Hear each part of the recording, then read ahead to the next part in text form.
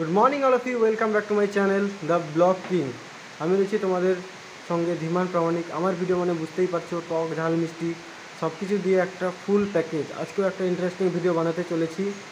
ঠাম্মা অনেক দিন থেকে বলছে আমাকে রান্না করতে। আগের বারেও যখন মিস থেকে বাড়ি এসেছিলাম, তখনও বলছিল রান্না করতে, আর আজকেও বলছে। তো আজকে ভাবলাম, ঠাম্মার বয়স হয়ে গেছে।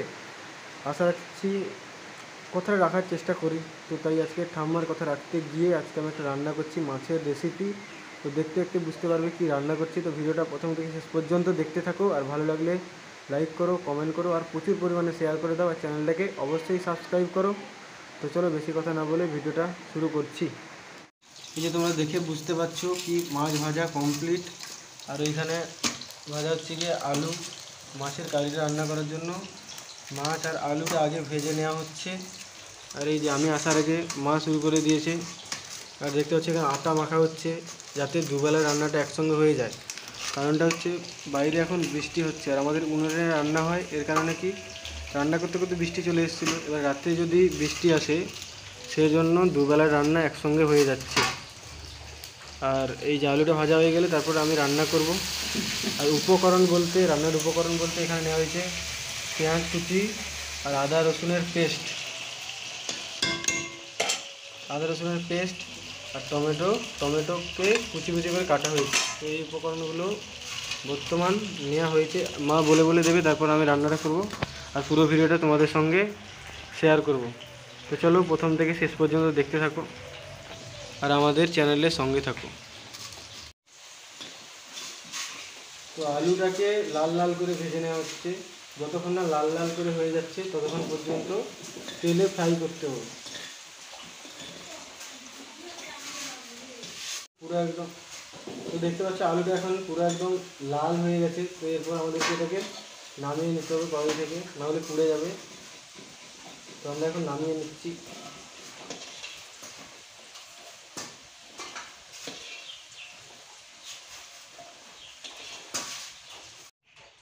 তো দেখতে পাচ্ছ কড়াতে আমাদের এখন দু চামচ মতো তেল রয়েছে, তো প্রথমে এর মধ্যে আমরা পেঁয়াজটাকে দিয়ে দেবো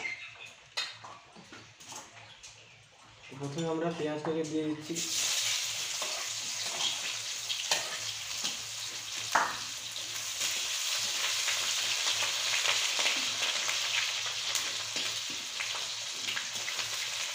আর একটু পেঁয়াজ লাগাবো না আর একটু পেঁয়াজ লাগাবো হুম।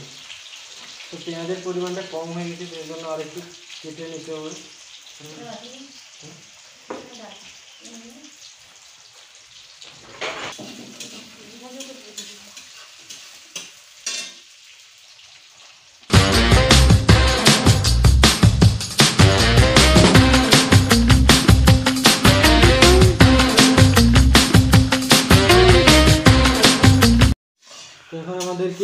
পেঁয়াজটা যতক্ষণ অবধি না লাল লাল করে ফ্রাই হয়ে যাচ্ছে, ততক্ষণ অবধি ওটাকে এরকম করে নাড়াতে হবে।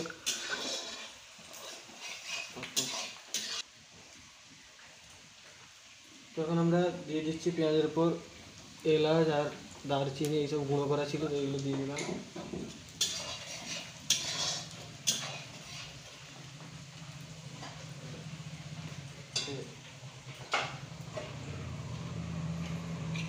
পেঁয়াজটা লাল করে ফ্রাই করা হয়ে গেছে এর জন্য এর সঙ্গে আমরা আদাটা অ্যাড করে দিচ্ছি।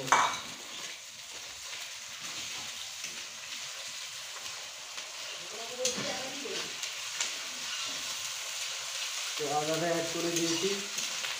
কিছুক্ষণ পর আদাটা অ্যাড করে দেওয়ার পাঁচ দশ মিনিট পর রসুনটা অ্যাড করুন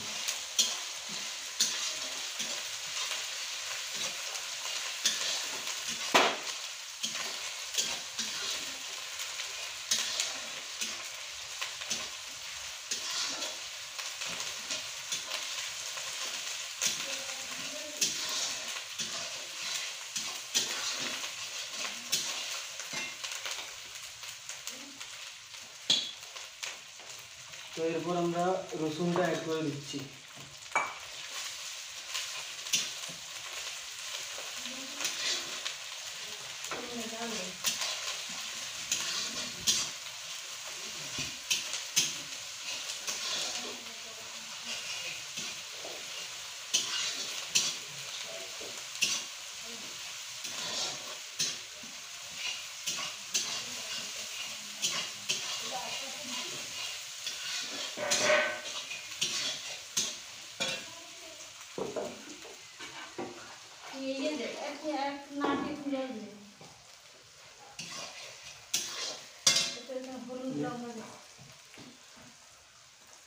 তো কিছুক্ষণ পর বাটির মধ্যে কিছুটা জল নিচ্ছি হালকা পরিমাণ।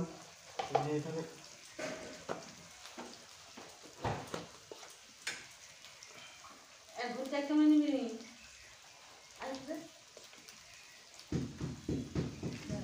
একটু হলুদ।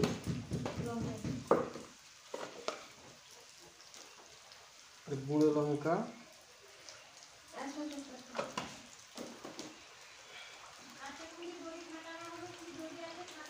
এরকম করে একটা লিকুইড টাইপের জল বানিয়ে নিলাম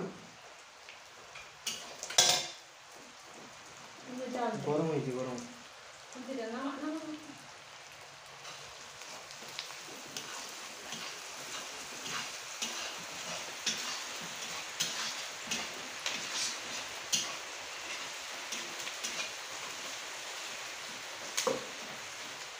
তো কিছুক্ষণ পর টমেটোর কুচিটা অ্যাড করছি।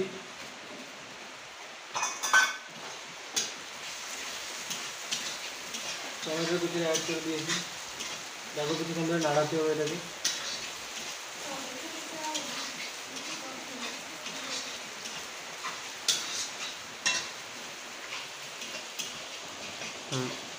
তো এরপর এখানে আমরা একটু পরিমাণ মতো নুন অ্যাড করব।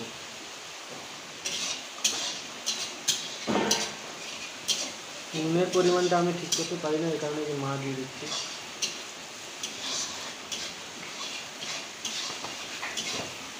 তো মশলাটা হয়ে গেছে, এবার আমরা এই জলটাকে এখানে অ্যাড করে দেবো.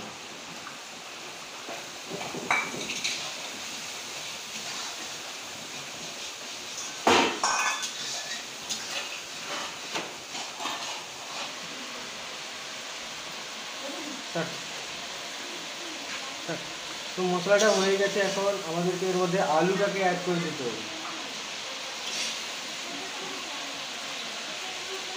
এখন আমরা ভেজে রাখা আলুটাকে এখানে মশলার মধ্যে অ্যাড করে দিলাম। তো এরপর এরপর এখানে আমরা পরিমাণ মতো জল অ্যাড করে দিচ্ছি।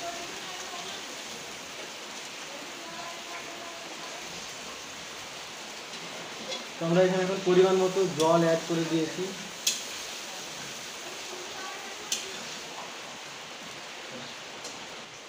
টাইম লাগছে কত টাইম লাগবে টাইম লাগছে আমার বলি তো এখন আমরা মাছটাকে দিয়ে দিলাম।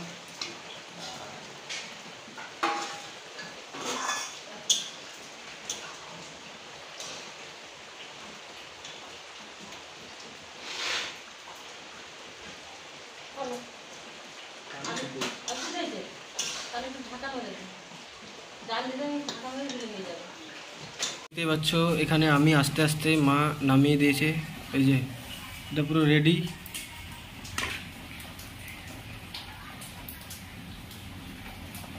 কত সুন্দর দেখতে লাগছে। যদিও বা এতক্ষণ ধরে বৃষ্টি হচ্ছিল, প্রচুর পরিমাণে মুসুলধারে মুসলধারে বৃষ্টি হয়েছে। তাও কিনা কেমন একটা ভেতরে ভাবসা ভাবসা টাইপের গরম রয়েছে। প্রচুর গরম লাগছে জামা টামা খুলে দিয়েছি, পুরো ঘেমে গেছি। কারণ ঘামার আরেকটা কারণ হচ্ছে এতক্ষণ ধরে রান্না করেছি, গরম জায়গায় বসে। তো এখন মা ডাকছে, রান্না মানে চান করতে হবে। তো দুবার তিনবার ধরে মা চেঁচালো, যেতে হবে। না হলে এরপর তিনবার যদি চেঁচাতে হয়, তাহলে বুঝতেই পারছ। প্রহার পড়বে মানে মার খেতে পারি বা বকুনি খেতে পারি। তো চলো চান করে আসি তারপর তোমাদের সঙ্গে কথা বলছি। খেতে খেতে টাটা। না কীরকম হয়েছে? ভালো হুম? হয়েছে। হুম? ভালো হয়েছে। রান্নাটা কে করতে হবে কই তোর রান্না খাইছে? তোর মা তো রান্না তুমি রান্না করতে কইছিল বলে আজকে আমি রান্না করছি। কোনটা রাঁধছে? মাছ মাছ। ঝোলটা রাঁধছে।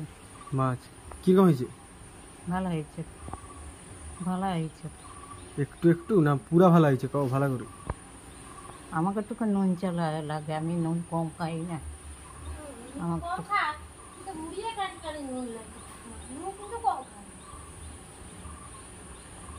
তরকারি আমাকে নুন চা লাগে না না মাছ তরকারি। তো ঠাকুমার কাছ থেকে রিভিউ নেওয়া কমপ্লিট বুঝতে পারলে ঠাকুমা বলল কেমন রান্না হয়েছে।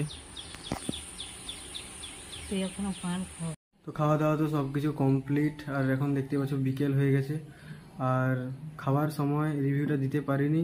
তাই ঠাম্মার রিভিউটা তোমাদেরকে আমি এখন দিলাম। কারণটা হচ্ছে গিয়ে মামাপির সঙ্গে খাওয়ার সময় একটু ছোটোখাটো ঝামেলা টাইপের হয়ে গেছে। যেমন হয় আর কি ওরকম ঝামেলা টাইপের হয়ে গেছে। তো এর জন্য তখন আমি রিভিউটা দিতে পারিনি। আর পরে দিলাম। আর এখন তো প্রচুর বৃষ্টি হচ্ছে মানে থেমেছে, হালকা হালকা বৃষ্টি হচ্ছে, আর প্রচুর কাদা রয়েছে বাইরে, এর জন্য বাইরে যেতে ভালো লাগছে না। বিকেলে বেরোবো ভাবছিলাম, কিন্তু বেরোবো না। আর ভিডিওটা এখানেই এন্ড করছি। তো ভালো লাগে লাইক করো কমেন্ট করো, আর প্রচুর পরিমাণে শেয়ার করে দাও। আর আজকের ভিডিওটা স্পেশাল কারণ ঠাম্মা ছিল। তো ঠাম্মার জন্য তো একটা লাইক দরকার, আর তোমরা ভিডিওটাতে লাইক দিলে আমার ভিডিও বানানোর আরও ইচ্ছা বাড়বে। আর তোমাদের ছোটো ছোটো লাইক আমাকে ভিডিও বানাতে আরও উৎসাহিত করে। তো চলো তোমাদের মূল্যবান লাইকটুকু দিয়ে দাও। আর ভিডিওটাকে প্রচুর পরিমাণে শেয়ার করে দাও। চ্যানেলে যারা নতুন, অবশ্যই চ্যানেলটাকে সাবস্ক্রাইব করো। তো আজকের মতো আমি চললাম। লাভ ইউ অল ভালো থাকো। বাই বাই দেখা হবে আবার নেক্সট ব্লগে